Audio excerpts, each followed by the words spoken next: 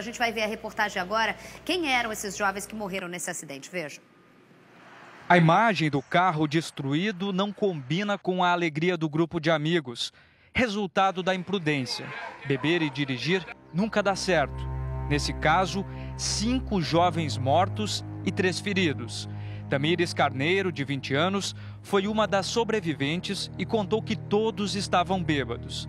Ela não queria entrar no carro, mas acabou indo com o grupo porque o namorado, Guilherme, não queria deixar o irmão sozinho. Guilherme Moreira, de 20 anos, e Juan Carlos Moreira, de 24, morreram. Outra vítima que morreu nessa tragédia foi Ítalo Ribeiro, de 21 anos. Ele era um jovem alegre, filho único, estudava educação física e trabalhava. O pai dele também morreu em acidente de trânsito.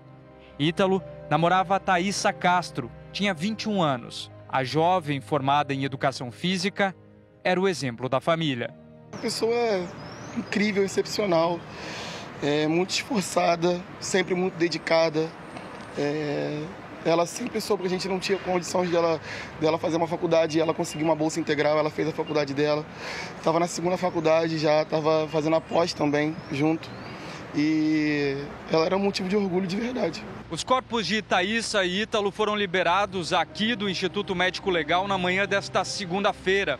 A polícia fez uma perícia no local do acidente e encontrou bebida alcoólica dentro do carro. Todos os ocupantes tinham entre 20 e 25 anos. Alex Moraes, de 20 anos, era o motorista. Ele também morreu e, de acordo com informações de testemunhas, tinha bebido antes de pegar a direção. O final de semana que começou com festa para os oito amigos terminou com muita dor e lágrimas.